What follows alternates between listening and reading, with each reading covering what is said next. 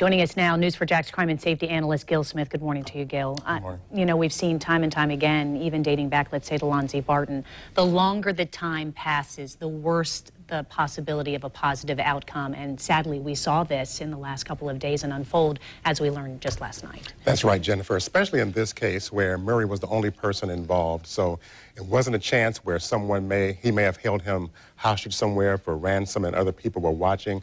With him being the only person, uh, there's a better chance that you know he did die early on in this case. As we learned, of course, he died on Sunday night. That's according to Sheriff Shoar. Uh, why not prosecute him in St. Johns County?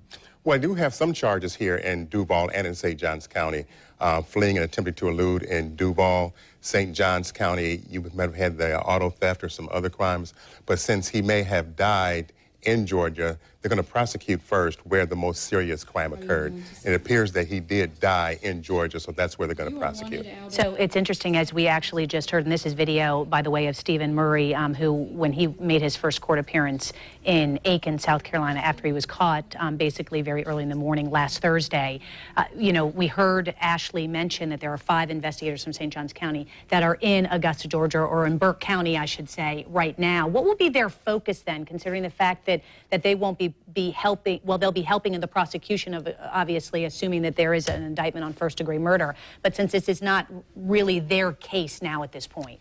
Right, at some point, uh, Murray is going to be extradited back to Georgia. But what prosecutors are doing there is to get as much information as they can about what occurred there in Georgia.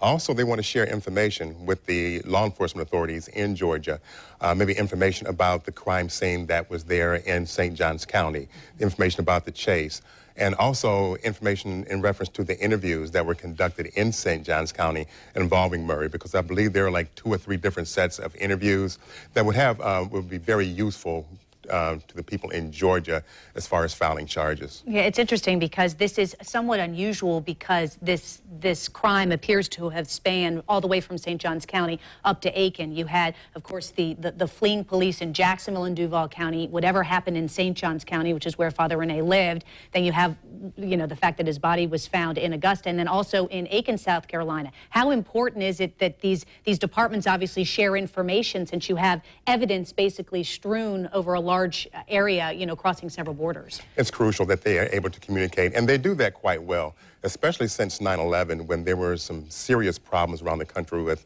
different law enforcement agencies communicating with, communicating with each other. And that's changed a lot since 9-11. Now, on police departments, um, actively communicate within, especially with close jurisdictions, Duval, Clay, and St. John's, but also across state lines, they communicate very well. So they'll be able to share information, still try to piece together exactly what happened because it's not, the case is not complete yet, even though he did uh, admit to committing the crime. Now it's a matter of figuring out the timeline, you know, when these events actually occurred, what was going on when he was traveling back and forth from Georgia to to Jacksonville. So there's still a bit of work to be done. Yeah, and, and, and more, quite frankly, answers to questions that we just don't know at this point in terms of establishing that timeline, and hopefully we'll learn that over the next couple of days. Gil, thank you very much for your insight. Do appreciate it this morning.